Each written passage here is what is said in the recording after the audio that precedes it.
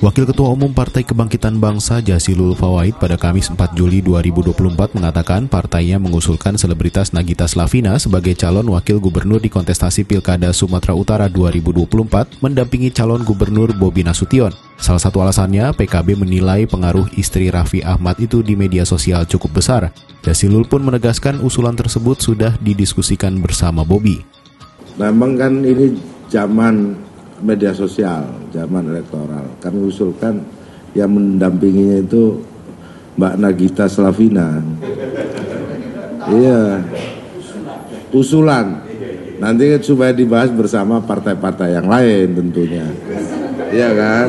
Salah satu contoh yang diusulkan oleh PKB. Saya yakin terbuka partai yang lain untuk mengusulkan nama perempuan yang akan mendampingi Mas Bobi. Adapun usulan Nagita Slavina sebagai calon wakil gubernur nantinya akan dibahas oleh partai-partai pengusung Bobi. Jasilul mengatakan pengusungan Bobi Nasution menjadi cagup Sumatera Utara merupakan sebuah koalisi besar. Koalisi tersebut di antaranya terdiri dari PKB, Golkar, Gerindra, Nasdem, PAN, Demokrat, dan P3. PKB menginginkan cawagup adalah sosok yang dapat mendongkrak elektoral Bobi Nasution.